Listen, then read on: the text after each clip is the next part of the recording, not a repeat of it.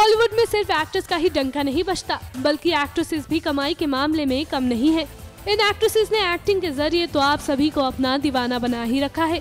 वहीं आज हम आपको बताएँगे कि आखिरकार ये हसीनाएँ एक फ़िल्म के लिए कितना चार्ज करती हैं। Number one Deepika Padukone. Bollywood की मस्तानी गर्ल यानी दीपिका ने कमाई के मामले में बाकी की सारी एक्ट्रेसेस को पीछे छोड़ दिया है। पीकू और बाजीराव मस्तानी जैसे फ़िल्मों में काम करने वाली दीपिका एक फ़िल्म के लिए 10 से 12 करोड़ चार्ज करती है। Number two, Kangana Ranaut. Bollywood की क्वीन यानी कंगना भी कमाई के मामले में किसी से पीछे नहीं है। फ़ैशन और तन्नू वेट्स मन्नू जैसी हिट फ़िल्में देने वाली कंगना एक फ़िल्म में काम करने के लिए 10 से 11 करोड़ चार्ज करती हैं। Number three, Kareena Kapoor Khan. Saif की बेगम जान यानी करीना बॉलीवुड की सबसे सक्सेसफुल एक्ट्रेसेस में से एक है।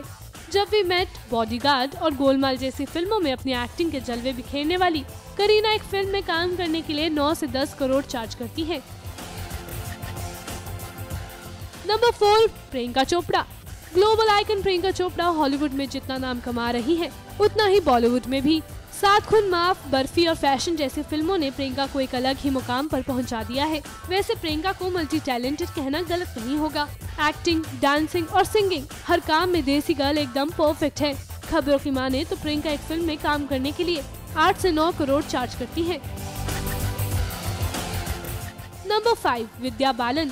Dirty picture Kahaani और इश्किया जैसी फ़िल्मों से अपनी एक्टिंग का लोहा मनवाने वाली। विद्या ने ये हमेशा साबित किया है कि उन्हें बड़े एक्टर्स के साथ काम करके हिट होने की ज़रूरत नहीं है?